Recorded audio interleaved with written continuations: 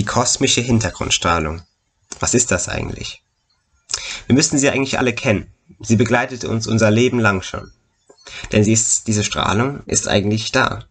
Seit dem Beginn des Universums. Seit dem Urknall. Wie kommt man denn da drauf auf diese Strahlung?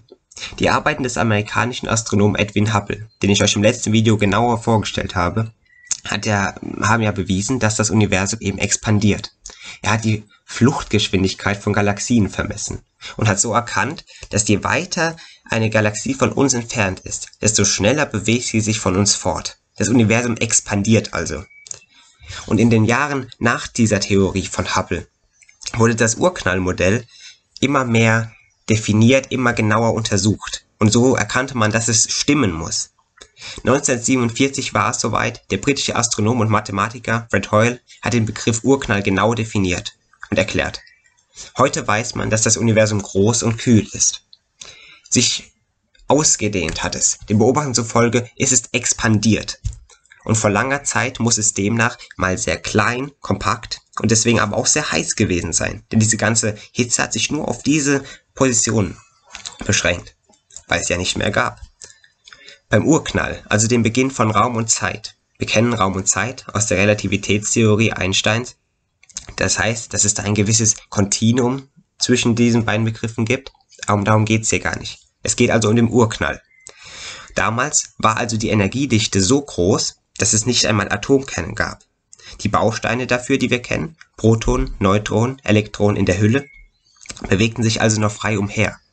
Nach einer kurzen Zeitspanne, wir wissen heute, dass es wenige Minuten waren, haben sich also in diesem expandierenden und noch kühlenden Universum die leichtesten Atomkerne gebildet, die wir kennen.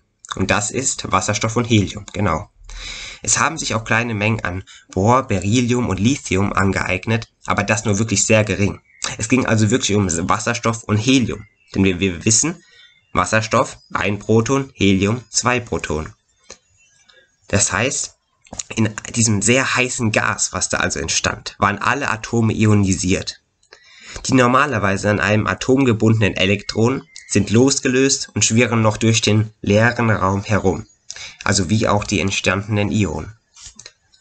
Beim weiteren Abkühlen dieses expandierenden Universums konnten dann die Atomkerne allmählich freie Elektronen einfangen.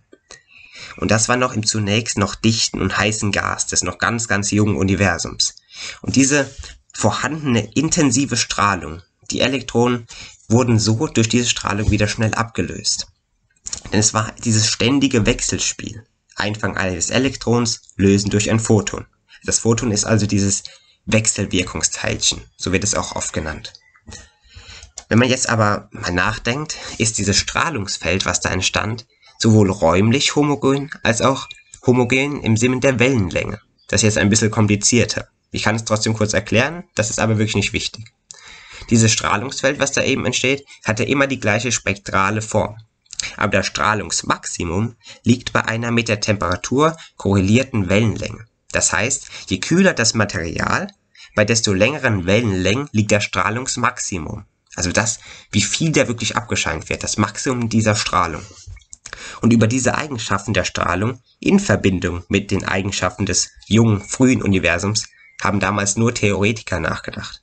Auch heute ist es noch sehr kompliziert. Wie ihr jetzt wahrscheinlich verstanden habt, ist das ganz schwierig zu verstehen.